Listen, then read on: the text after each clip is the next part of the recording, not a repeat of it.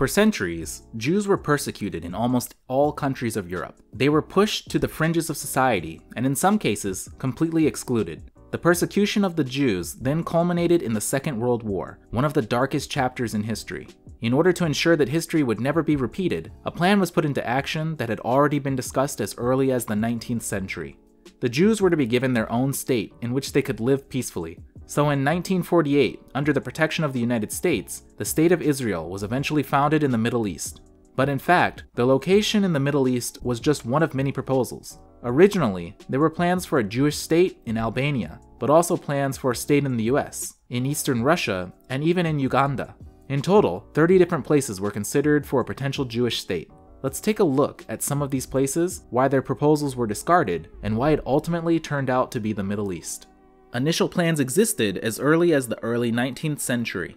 One of the first proposals dates back to 1820, when a Jewish politician from New York was one of the first to advocate Zionism, the establishment of a Jewish state.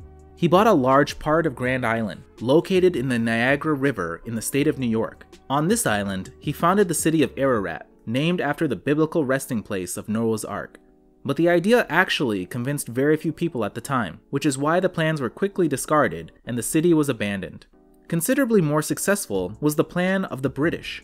They too advocated for a homeland for all Jews and therefore developed the British Uganda program. The goal was to give the Jewish people a part of British East Africa as a homeland.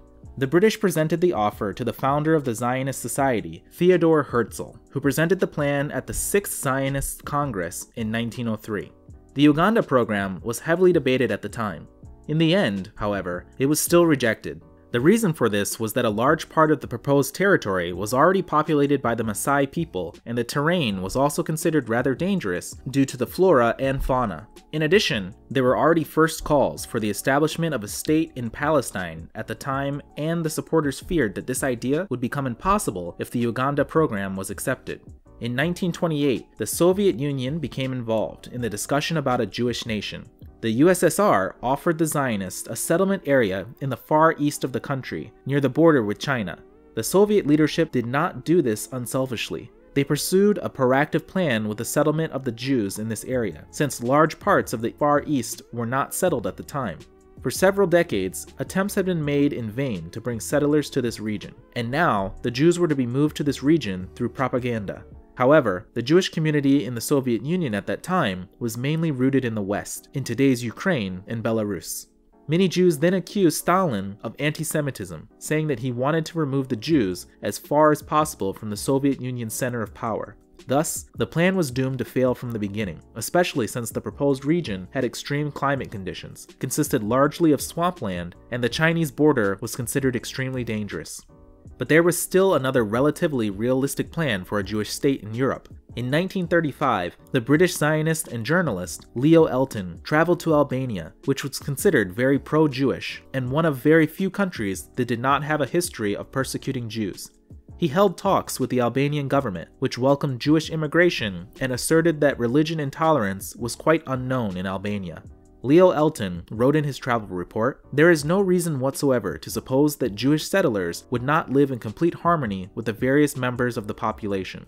The country also had the advantage of being completely cut off from industrialized Europe, yet offered extremely fertile soil for agriculture. It was expected that this would provide for at least 5 million Jewish residents, but despite this, the plan ultimately failed.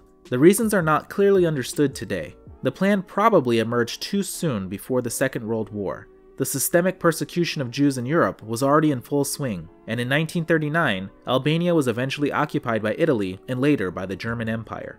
After the war, the establishment of a Jewish state in Palestine was then promoted by the USA, whereby all other plans were discarded.